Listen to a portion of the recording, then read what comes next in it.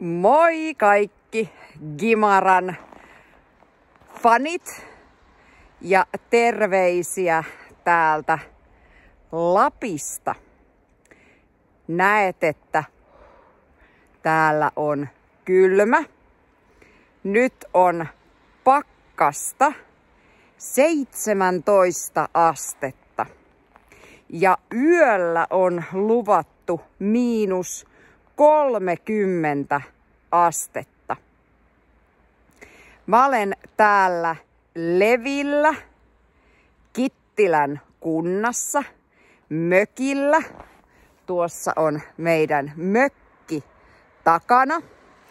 Ja tuolla on lumiukko, jonka meidän pojat rakensi, kun me tultiin tänne mökille.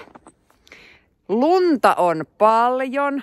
Näet, että tuolla puissa on paljon lunta. Ja tuossa tuo pieni mökki. Sen nimi on Niliaitta. Ja Niliaitta on pieni varasto, johon ennen laitettiin ruokaa, että kun se on korkealla, niin eläimet eivät pääse syömään sitä ruokaa.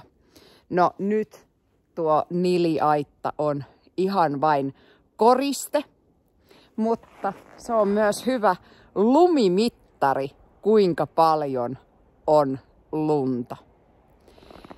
Etelä-Suomessa ei vielä ilmeisesti ole lunta. Toivottavasti myös teille tulee sinne etelään valkoinen joulu. Oikein mukavaa joulun odotusta kaikille.